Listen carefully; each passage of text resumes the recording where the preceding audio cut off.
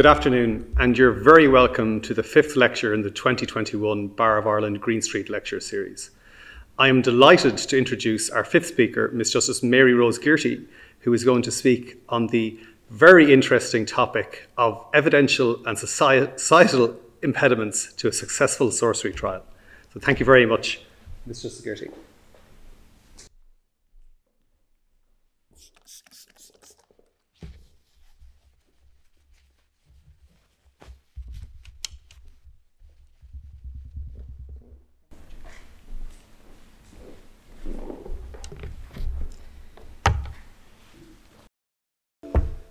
Hello. I want to look at an enduring myth about a couple of ferocious cats. I want to look at Ireland in the 1300s, England in the 1900s, and then we will return to the cats. On the way, we will consider what are the constituent parts of a successful trial and ask did the sorcery trials fall short of those standards, not only of today's standards, but the standards of the time? I will now deliver a trigger warning, and a spoiler alert. Some of the women referred to in this talk will be burned to death. And by the end of this story, we may be older. We certainly will be older. We may even be wiser. You can decide which of these is the trigger warning and which the spoiler alert. And so to the enduring myth of the cat's tails and a phenomenon that I call six degrees of John Philpot Curran. Everyone who was over the age of 10 in the 1990s probably knows that there are only six degrees of Kevin Bacon. Any Hollywood actor can be traced back to Kevin Bacon through tracing the two actors in the films in which they've appeared. Thus, Michael Fassbender, having starred with Bacon in X Men First Class, has a Bacon factor of one. But Ian McKellen, having only starred with Fassbender and not directly with Kevin Bacon, has a Bacon factor of two. Similarly, in Irish legal history, we can trace any figure of the Irish legal landscape to Curran in six steps or less. One of the links between the earliest recorded sorcery trial in Ireland and the Green Street lecture series was John Philpot Curran. The earliest recorded sorcery trial is linked to Curran with a Curran factor of only two by my calculations. As you know, John Philpot Curran was one of the best known and most brilliant barristers in practice in the 1700s and 1800s. Some would say he was the most brilliant Irish trial lawyer ever.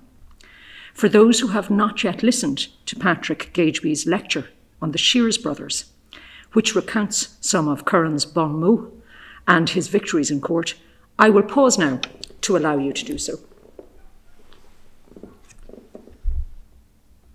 Welcome back. As you've just heard, the Sheares brothers were two of the United Irishmen who were executed in 1798. The brothers were both barristers, and the retelling of their story in the very courtroom where they had been tried and sentenced to death was particularly poignant. Their barrister was John Philpot Curran. In 1817, Curran told the following tale, which was already by then a widely known myth. His biographer and son, William Curran, also a barrister, includes the reaction of his listeners in his retelling of Curran's story. William reports that Curran was at Cheltenham and the talk over dinner turned to cockfighting. And Curran told what his son describes as the incredible story of the Sligo cats. At a catfight meeting, so the story goes, three pairs of cats fought on the first day. And before the third catfight finished, on which bets ran very high, dinner was announced. The company agreed to leave the room, lock it, and leave the key with Curran. On their return, Curran protested to God he never was so shocked, and his heart was sunk within him when they found that the cats had actually eaten each other up, save some little bits of tails which were scattered around the room. His son William reports the Irish part of the company in Cheltenham saw the drift, ridicule, and impossibility of the narrative and laughed immoderately while the English part yawned and laughed seeing others laugh and sought relief in each other's countenances. So that is Curran's version of the enduring myth of the self devouring cats, and in every other telling, the cats are from Kilkenny. This image from the United States Library of Congress by Mr. Pughe was published on the cover of Puck in 1904, and it depicts Japan and Russia as the Eastern Kilkennys. May the knot hold. The phrase Kilkenny cats was sufficiently well known to readers in that time that readers would interpret it as a hope that the cats would destroy each other. So the story of the Kilkenny cats appeared first in the 1700s, and apart from Curran's version, which we've just heard, it was always set in Kilkenny, and the result was always the same a fight so fierce that nothing but the tails of the cats remained.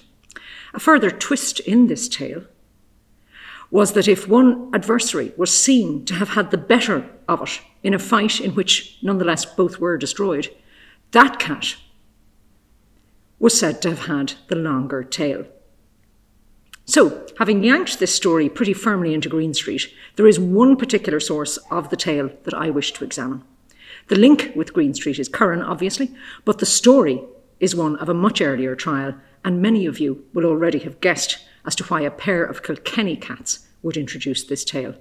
In 1857, the historian and archivist John Thomas Gilbert referred to the Kilkenny cat of Dame Alice.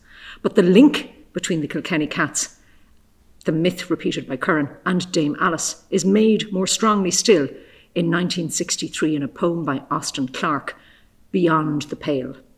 Not just the name, the Kilkenny Cats, appears here, but the substance of the story is recounted and linked directly to Dame Alice.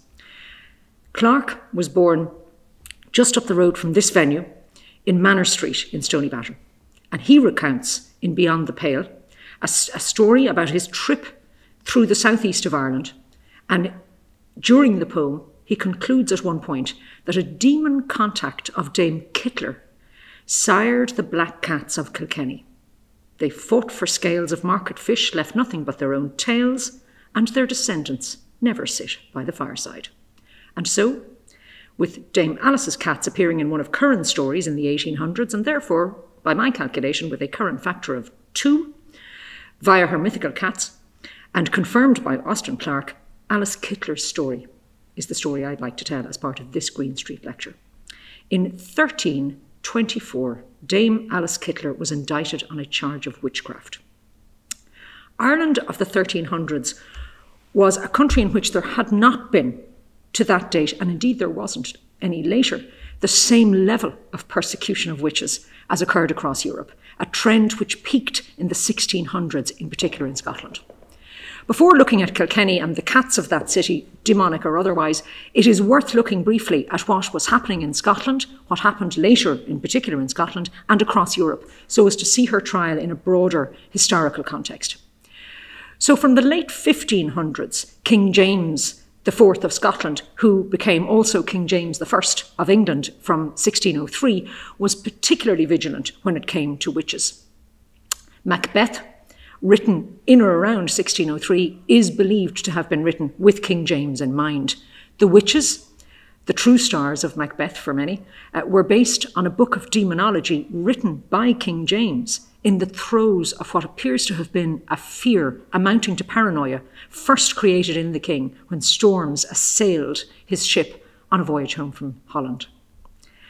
As to the real life witches, Roughly three quarters of those accused in the witch hunts which occurred across Europe were women, although some men were also implicated, either as accused witches or as associates of female witches.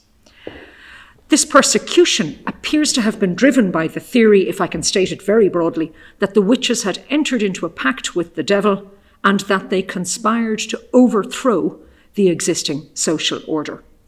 Heresy with bells on, you might say. Hell's bells, even.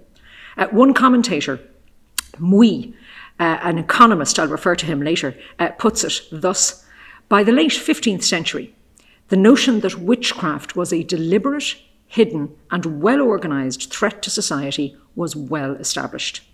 as this notion assumed greater significance, it became common for the accused to be tortured and forced to name others who had attended sabbats. Sabbats were mass meetings in which witches were thought to worship the devil. Commentators on witch trials point to the community origins of such suspicions. If a woman had been refused assistance, for instance, and then misfortune followed to the one who had refused her, and I must add, when did misfortune not befall all and sundry in the Middle Ages? The allegation against the woman was likely to follow. More convincingly, later commentators in the 70s and 80s, and I mean the 1970s and 80s, such as Norman Cohn, uh, point out that ordinary folk would never have pursued allegations in such numbers had there not been institutional buy in, so to speak. It suited the church and the state to use the alleged menace of sorcery to expand their control, to enforce conformity with ideological norms, and to reinforce secular and religious power. What we know of the Irish trial of Alice Kyteler confirms the church's involve- involvement, but the main prosecutor in that story is one who either clearly believed strongly in the case he made, as he did risk his own liberty and property to pursue the case, or he was heavily invested in some other way, perhaps a personal investment, whether in power or in uh, money or other properties, for instance. Any theories which seek to explain the phenomenon of the witch hunt will only persuade if they take into account this likelihood that those who took part either believed in this cause or had a vested interest in the suppression of what appear to modernise to have been quite ordinary people, or both. Um, King James is a good example, and the Bishop of Ossory, Richard Ledred, is the next character we'll introduce, is another good example of this phenomenon. And finally, still by way of general background, to put the phenomenon in a social context, Gutenberg's printing press was invented in 1440, so over 100 years after Dame Alice's trial. And over the following 200 years, through, the, through to the 17th century essentially, there was a huge surge in the transmission of information generally and in the uh, phenomenon of adult literacy. Grain and oats were the staple diet until the introduction of the potato in the 16th century, as depicted probably most memorably in Blackadder II in an episode entitled Potato. While public lighting had appeared by the 1500s, lighting still remained the preserve of cities and towns. It wasn't until the 1800s that private citizens began to light their homes other than by candlelight, which was expensive. It was in the 1930s, again by way of context, when rural Ireland was literally electrified. Um, I mention this because it's important to recall that it was dark in most places for most of the time in Ireland in the 14th century, and it wasn't much better by the 1600s in England and Scotland, save in large urban areas. I mentioned Macbeth and King James. Um, this fact of life, almost constant darkness, has been posited as the reason for the catalogue of accidents and misfortunes which attended so many performances of Macbeth, uh, that indeed it has led to a general view that the, the play itself is cursed and so much so that those in the acting business will not refer to the play by name, but call it the Scottish play. Sensibly, in my view, some commentators have pointed out that as the play is performed in almost constant darkness, it's hardly surprising that there is an above average occurrence of trips and falls. Any good lawyer would have advised Shakespeare to raise the stage lights and reduce that risk. In Ireland in the 1300s, and again recall 300 years before the witch hunting trend peaked. This fear of the occult was observed, the same fear that was later seen across Europe in later centuries and persisted in some continents around the world, indeed up until today. There is no evidence, however, of a sustained campaign to identify and execute witches in a systemic way in Ireland. This is perhaps explained by the more tenuous nature of the power wielded by various rulers in Ireland at the time, um, and the absence of a unifying force, such as King James, leading the charge against sorcery. So, without that confluence of fear and power, uh, there was less scope for the kind of campaign that saw men appointed by the church or state to find and eliminate witches. And I can't help but think, as I say that, of uh, Dr. Richard Kimball, uh, to be found and not necessarily eliminated by Tommy Lee Jones uh, in his wonderful, uh, I suppose, successor of the, of the Witchfinder General.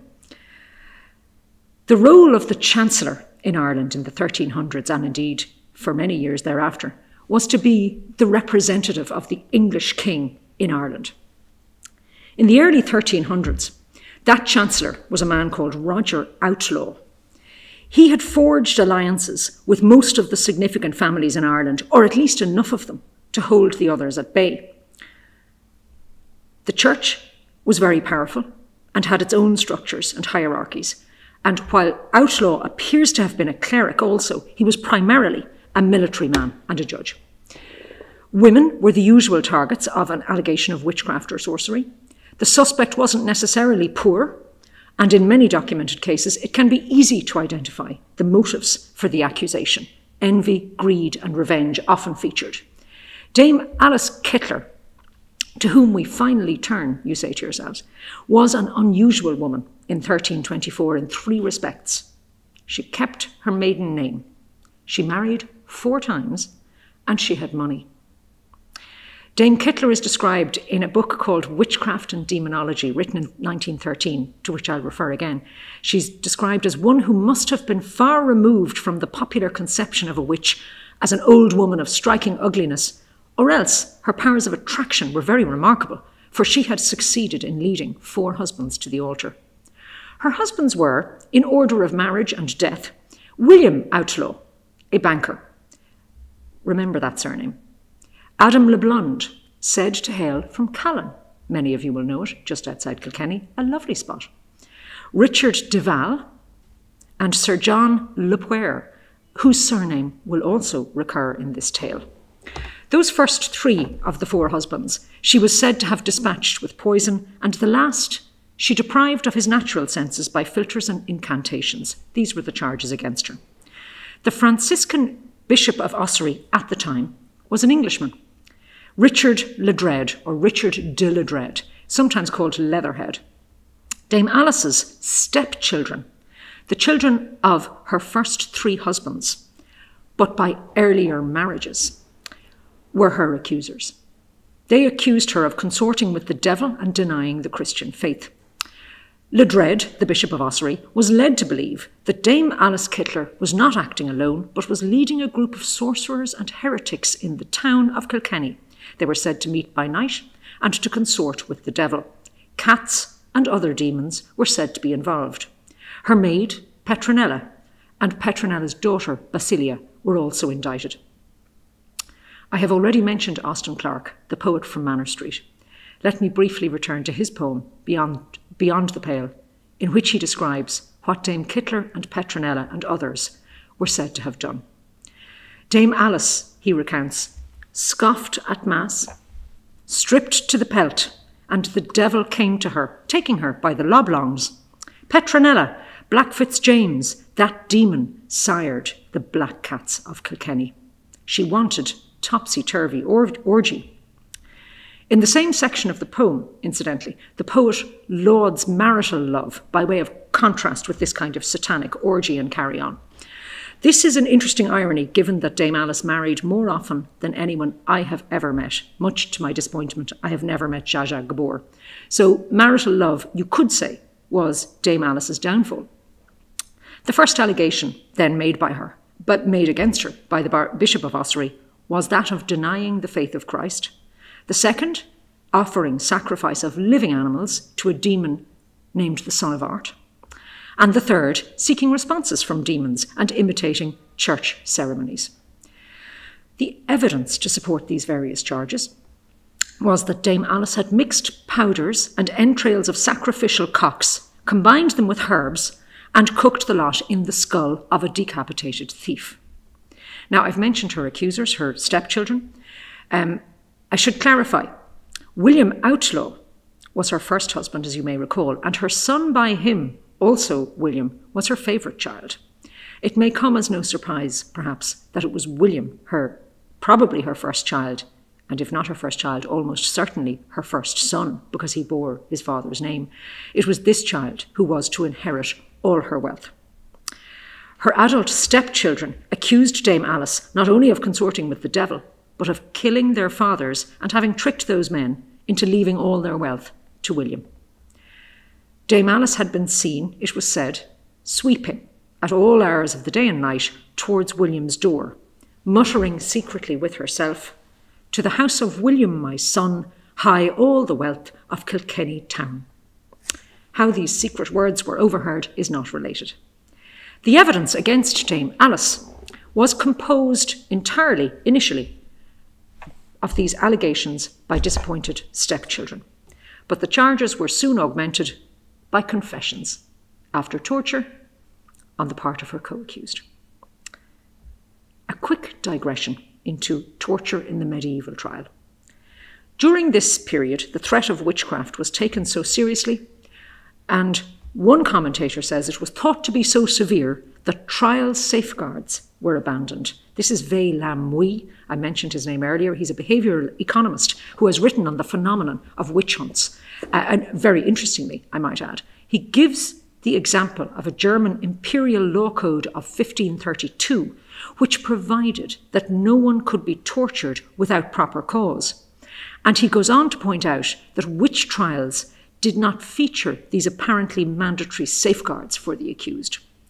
He posits that as witches were usually accused of conspiring with the devil, difficult to prove, and not simply practicing harmful witchcraft, somewhat easier to prove, Judges began to see torture as the only effective way to extract confessions. And so he concludes by the end of the 16th century, the use of torture in such trials was widely accepted in Germany. This is all set out in an article, uh, in every way very interesting, called Information, Civil Liberties, and the Political Economy of Witch Hunts. The truth in respect of torture and the trial process may be somewhat different. Torture remained lawful throughout most of Europe into the 1700s and 1800s, in the context specifically of gathering evidence, not just in terms of uh, punishment or execution, indeed. In April of 1905, the Scottish History Review was published and contained an extensive description of what was described as the use and forms of judicial torture. The authors, having documented the gradual move against the use of evidence obtained after torture, the authors conclude that its use was common in ancient Greece, and they refer to the rack and the wheel, and then they note that the civil law strictly regulated the use of torture. Its rules were precise as to the stage at which torture was to be applied, its amount, the physique and age of the subject, the nature of the queries to be put at different stages of the examination, the conduct of the sufferer, the circumstances of his confession, and the relation of the accuser. There was a useful restraint uh, to deter vexatious and frivolous accusations of treason. If an accuser failed to prove the case in treason, the accuser was liable to be tortured in turn. The same deterrent did not apply to a sorcery allegation. The principal tortures at the time were the rack, thumbscrews, plumbate, or leaden darts, and fidiculae. I'm I, am certainly led to believe this by uh, certain uh, researches, in particular into uh, the uh, Scottish History Review. But the fidiculae, I also understand, is a small stringed instrument, which seems a little unlikely. But my understanding of the use of the term in this context is that they were cords which compressed the arms. All of these methods of torture had later European counterparts. Most of them had nicknames kind of interesting, actually. Uh, the rack, which was supposed to have been introduced uh, into England by the Duke of Exeter, was commonly referred to as the Duke of Exeter's daughter. And a hoop of iron, which compressed the subject within it by the small of the back and kneeling on, under his feet. Um, that was introduced by someone called Skevington, Lord Skevington, and that was nicknamed Scavenger's daughter. And a similar construction in Germany was referred to as the Iron Maiden. So I have to say, I briefly considered showing pictures of these devices, but they were so horrendous, I decided against it. Various English statutes over the centuries appeared to prohibit torture, but Bracton, writing in the 13th century on the laws and customs of England, divides corporal punishment into that inflicted with and that inflicted without torture. the sensible conclusion appears to be that even though torture was apparently uh, forbidden or ostensibly forbidden by statute, and was certainly disavowed by distinguished jurists uh, by the time of Queen Elizabeth I, if not by uh, the time of King James, um, there was ample evidence from contemporary writers and from state papers that throughout the 15th and 16th centuries, practice did not marry theory. The piece in the Scottish History Review concludes quite quaintly that torture was constantly used as an instrument of evidence in the investigation of offences without scruple and without question as to its legality, and that despite his sentiments and disavowal of torture, Sir Edward Coke, Attorney General in 1603, appears from state documents to have personally conducted an examination of an accused person by torture on the rack.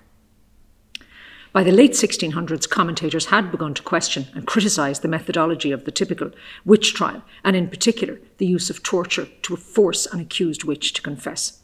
It may be of some comfort to an audience of lawyers to know that the most frequent convictions and burnings in Scotland were imposed by lay tribunals of the time, the gentry acting as judges in local affairs. They executed up to 90% of those who were accused of witchcraft who appeared before them. The more professional lawyers and judges with some training in law at the time had a much more modest total of up to a, a, about half of those who appeared in front of them. Perhaps not a great result, but these things are, I suppose, comparative um, relative. We were not alone in Ireland in terms of uh, torture, therefore, and we are about to hear the fate of Petronella, but it was common, certainly on, on, on those uh, reviews of the, of the situation. It was common right across Europe. So, returning to Dame Alice, the Bishop Ledred wasn't a witchfinder in any general sense, but he was the match of Hopkins in many ways, insofar as Alice Kyteler was concerned, for his enthusiasm as a prosecutor. However, as we've already seen, he lacked institutional backup, so to speak. From the Bishop of Ossory's point of view, the position was somewhat worse when it came to Alice Kyteler. It wasn't just that he didn't have institutional backup or endorsement. The Chancellor of Ireland, representative of the, of the English King in Ireland, and thus one of the most powerful men in the country at that time, was Roger Outlaw, certainly a relation, and in some accounts, a brother of the deceased William Outlaw, Dame Alice's first husband, and therefore certainly a relation and probably the uncle of William Outlaw, who was to inherit all of the wealth of Dame Alice. So the younger William, to whom she was sweeping her wealth, um, was to benefit from this sorcery if the bishop was right. So, somewhat implausibly, and possibly even recklessly, the Bishop Ledred sought to persuade Uncle Roger, the Chancellor, to indict and to execute his sister in law, all of whose considerable wealth was bequeathed to his nephew. Sir Arnold Le Poer, probably a relation of the last husband, John Le Poer, joined with the Chancellor, Uncle Roger Outlaw, in opposing the bishop's demand that Dame Alice be arrested. The bishop nonetheless cited her for sorcery, and Dame Alice fled temporarily. Foiled thus far, Ledred cited William the Younger, her son, for heresy. Sir Arnold Le Poer, probably a relation of the last husband, John Le Poer, joined with the Chancellor, Uncle, Rich, Uncle Roger Outlaw, in opposing the bishop's demand that Dame Alice be arrested. The bishop nonetheless cited Alice for sorcery, and she fled temporarily. Foiled thus far, the bishop, Ledred, cited William the Younger, her son, for heresy. Now, there was no accomplice warning at the time, and the evidence of Dame Alice's maid, Petronella, was that she, the maid, had consorted with demons, but that her mistress, Dame Alice, was far more involved in demonology than poor Petronella. Sir Arnold's support uh, was lent to William Outlaw, and they entreated and then threatened the Bishop Ledred. Stephen Le Poer, another relative of Arnold Le Poer, and probably therefore a relative of husband number three, John Le Poer, was a bailiff. So Stephen the bailiff intercepted the bishop the next day and arrested him. The bishop was lodged in Kilkenny jail, according to one account, causing tremendous excitement in the city. If you had until now been vaguely picturing the Bishop of Ossory, Richard Le, Le de Le as a kind of medieval Judge Dredd, a lone enforcer figure, the following scene will disabuse you of that notion. Drelincourt Seymour, writing in the 1900s, but taking his account from the bishop himself, tells us that the sacrament was brought to the bishop at his request in solemn procession. All the clergy, secular and religious, flocked from every side to the prison to offer their consolation to the captive. A Dominican preached the Sermon on the Mount Blessed are they which are per- persecuted for righteousness' sake, for theirs is the kingdom of heaven. This appears to have been a deliberate show of power, a very calculated display of the influence and popular support enjoyed by the Church. And it had its effect. Seventeen days later, Ledred was liberated, and in the words of Seymour, St. John Drelincourt Seymour, uh, author of Witchcraft and Demonology, the bishop refused to sneak out like a released felon, but assumed his pontificals and, accompanied by all the clergy and a throng of people, he made his way solemnly to St. Canice's Cathedral, where he gave thanks to God. And then, with a pertinacity that the 1913 author Seymour admires, despite his brief spell of imprisonment, the bishop again cited William Outlaw by public proclamation to appear before him.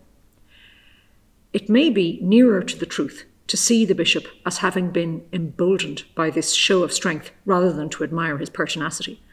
But before William Outlaw, the favourite son, could appear, the bishop himself was cited to answer a separate charge against him from the civil authority the charge of having placed an interdict on the diocese, an ecclesiastical ban which could be applied to a person or a locality. Ledred declined to go initially, saying his life would be in danger if he did, but then later he appeared before the seneschal in court in Kilkenny, fully robed and carrying the sacrament in a golden vase, where the seneschal called him a vile, rustic, interloping monk with his dirt, which he is carrying in his hands, and refused to hear him.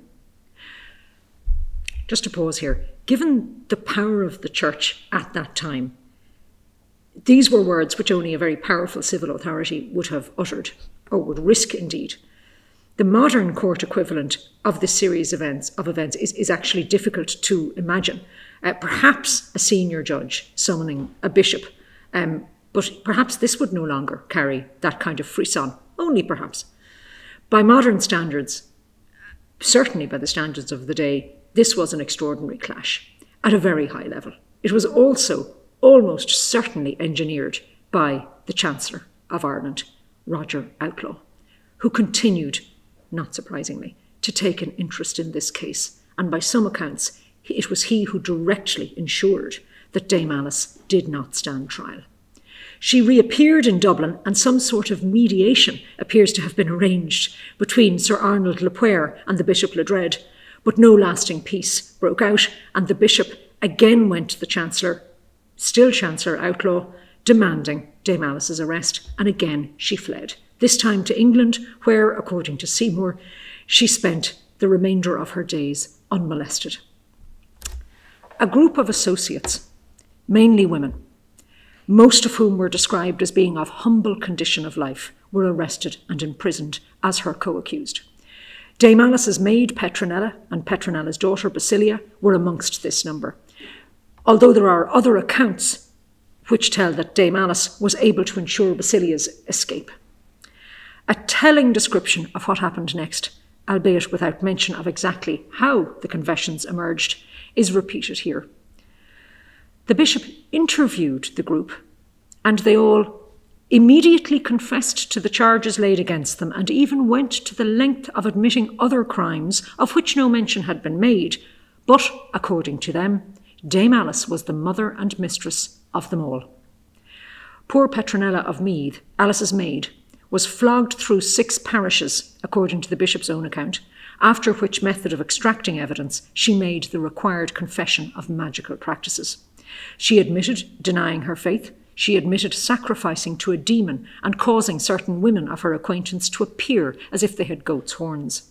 She implicated Dame Alice in all her activities, saying that she had frequently consulted demons and received responses from them. Petronilla alleged that she and her mistress had applied a magical potion to a wooden beam which enabled both women to fly. She made a public proclamation that Kyteler and her follow- followers were all guilty of witchcraft. And she f- concluded that she, Petronilla, was as nothing in comparison with the dame from whom she had learnt all her knowledge, and that there was no one in the world more skilful than she. She also stated that William Outlaw deserved death as much as she, for he was privy to their sorceries. Now, Drelincourt Seymour concludes torture as a means of extracting evidence was never used upon witches in Ireland, excepting the treatment of Petronilla of Meath by Bishop de Ledred, which seems to have been carried out in what may be termed a purely unofficial manner.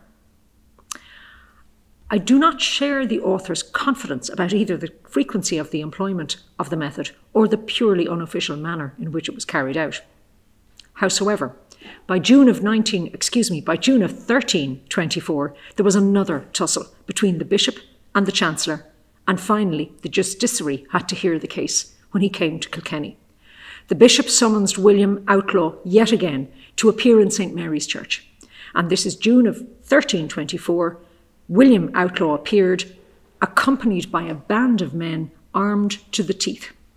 Ledred accused him, amongst other charges, of heresy. The full account of the trial is so brief that it can be given here. And again, looking at uh, Seymour, uh, Drelincourt's account, Drelincourt Seymour in 1913, borrowing heavily from the bishop's own account of what had occurred. On the 2nd of July, still in 1324, on the 2nd of July, accompanied by the Chancellor, the Bishop recited the charges against Dame Alice and, with the common consent of the lawyers present, declared her to be a sorceress, magician, and heretic, and demanded that she should be handed over to the secular arm and have her goods and chattels confiscated. William, despite backing from the Chancellor and the Treasurer, was compelled to submit on bended knee. The records reveal the fate of some of Dame Alice's accomplices. She had not returned, you'll recall, to face trial, so in her absence she was thus uh, convicted and sentenced. On the 3rd of November of the same year, 1324, showing an admirable speed in terms of her trial in due course of law, whatever about any other aspect of the rule of law, Petronilla was burnt alive at the stake. This was the first instance of punishment of death by fire in Ireland for heresy. The fate of William, the favourite son, was somewhat different. He was sentenced to hear at least three masses every day for a year, to feed a specific number of poor people, and to cover a portion of the roof of St. Canice's Cathedral with lead. He agreed to do this, but then failed to abide by those conditions and was cast into prison. Others of the group of Dame Alice's followers were burnt, some were merely solemnly whipped through the town, others were banished. Those who escaped, including Dame Alice herself, were excommunicated.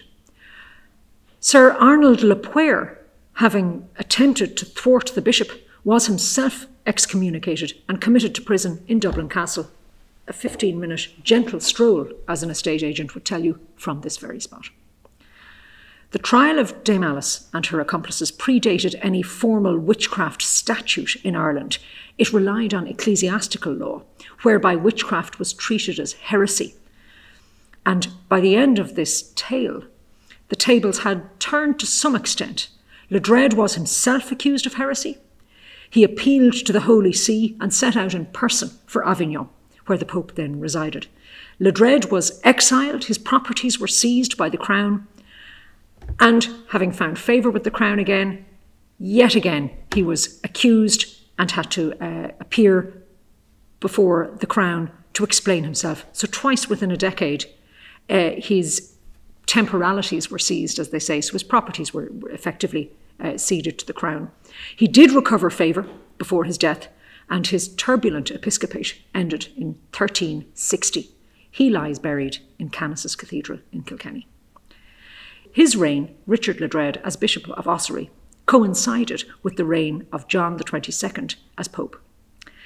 That Pope was perhaps the King James figure whose influence may have animated the Bishop of Ossory.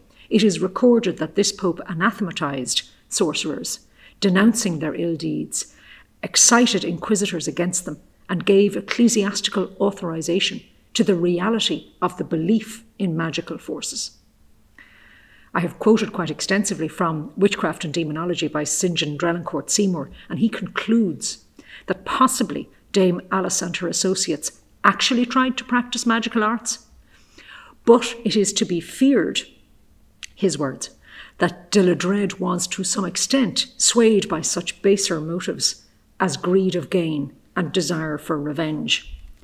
And to be fair to the author, he does also allow that the discontent and anger of the disinherited children at the loss of the wealth of which Dame Alice had bereft them by her exercise of undue influence over her husbands, family quarrels, private hatreds, and possibly national jealousy are all very probable causes of the charges against Dame Alice and her unfortunate associates.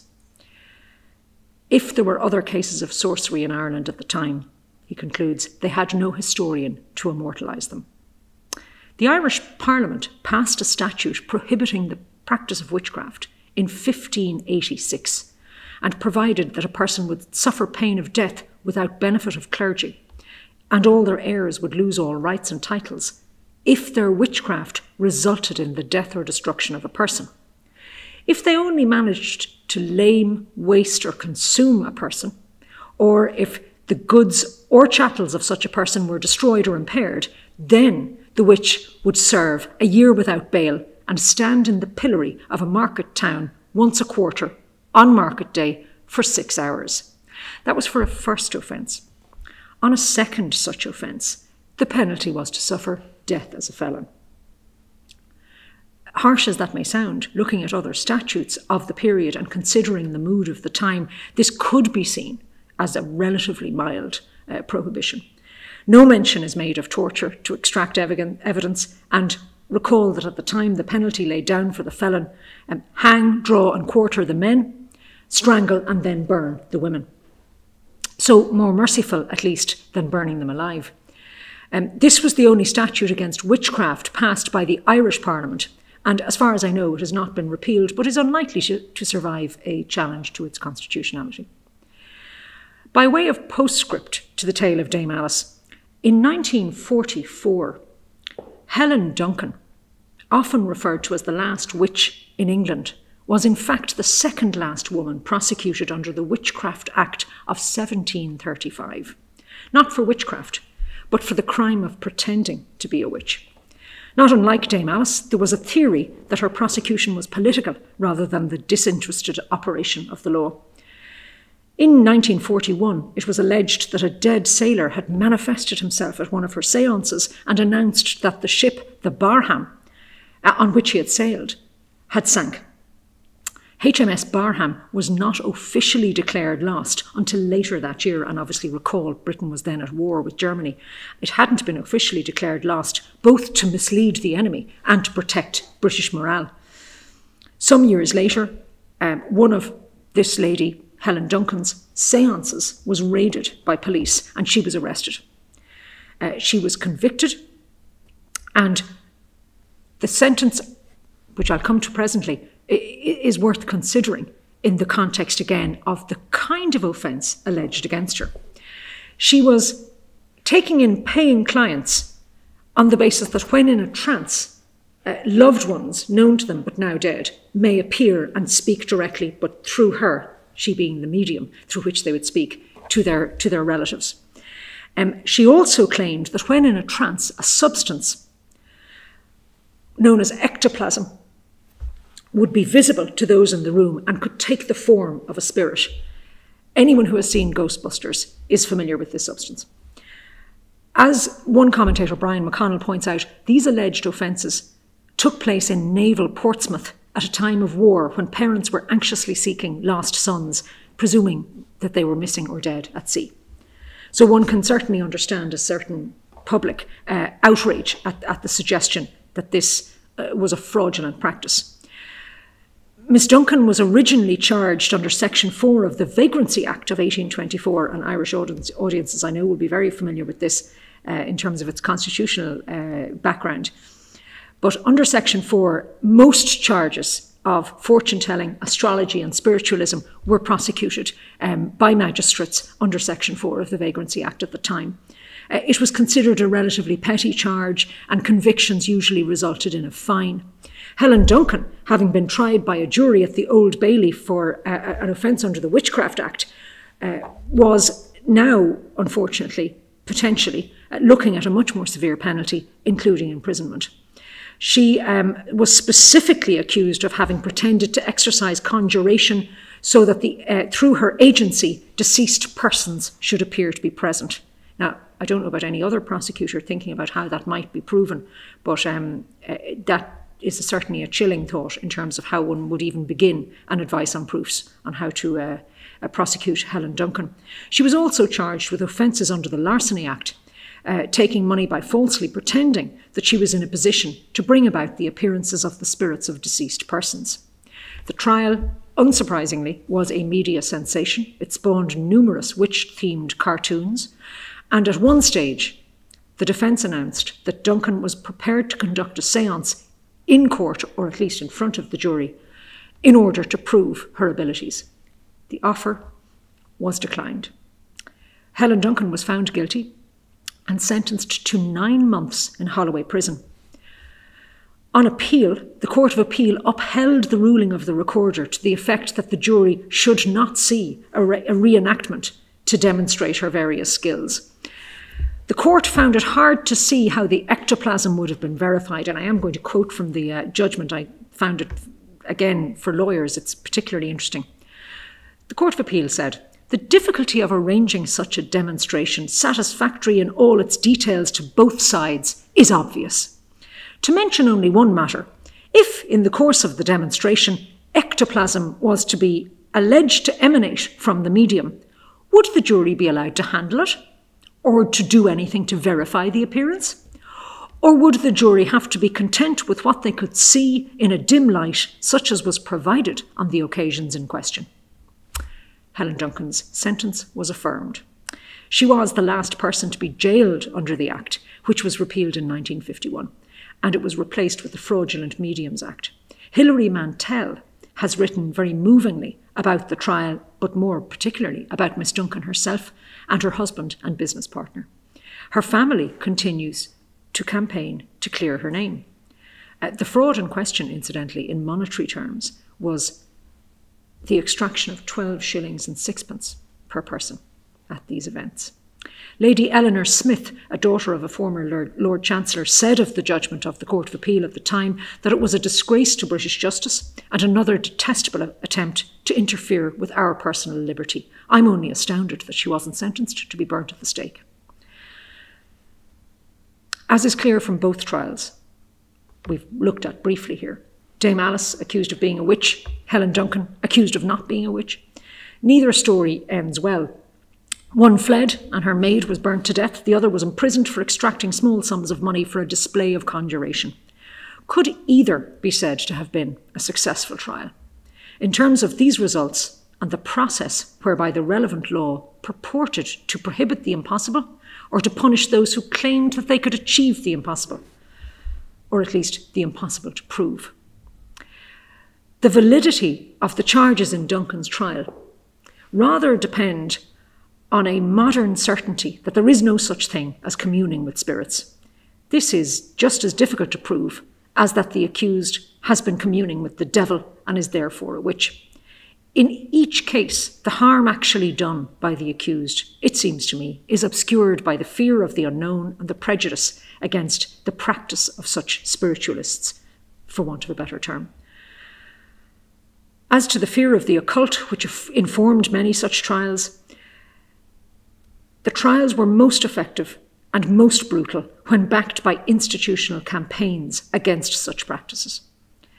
The attempts to fight human representatives of invisible enemies, uh, such entities being beyond the scope of forensic methods of proof and therefore impossible to establish, let alone prove, these trials, wholly removed from a concept of forensic proof or evidence, are reminiscent of the Kilkenny cats. This is why I opened with that particular reference, fighting until only the tails remain with confessions and accusations obtained through torture, accusers who were personally or institutionally invested in the result, and clearly, in many, if not all cases, a series of unfortunate accused persons admitting to what most would accept is impossible. There can be no historical example, it seems to me, of a successful sorcery trial right up to 1944 when Helen Duncan was imprisoned for pretending to have such powers in a trial which provoked protests and ridicule in equal measure.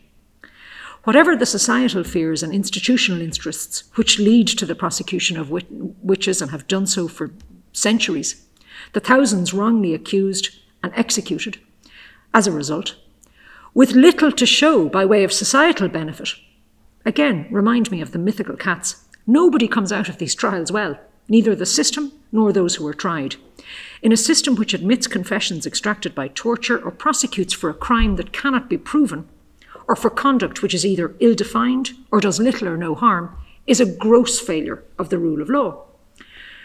There may be success in monetary terms, or even in terms of enduring power for an institution, uh, for those who create and administer such a system, but I don't think it can be said to be successful in human terms, though it must be said that the witches came out of it rather worse, and those with no money or connections, such as poor Petronella, came out of it worst of all. The prosecutors, whether state or churchmen, even if they too fought until their own system had no credibility, they at least physically survived the ordeal, and in some cases uh, indeed in many cases, continued to rule for many years thereafter. So, in the language of the mythical cats, they had the longer tails. Having outlined the story of the Kilkenny cats and two, perhaps tenuously connected trials, I did want to finish by playing a small excerpt of a song. In 1983, The Cure released the song Love Cats which is a wonderful piece and one I'd have loved you to hear at the close of this talk. But sadly, a call and an email to the publisher have gone unanswered, so I have no permission to play the excerpt.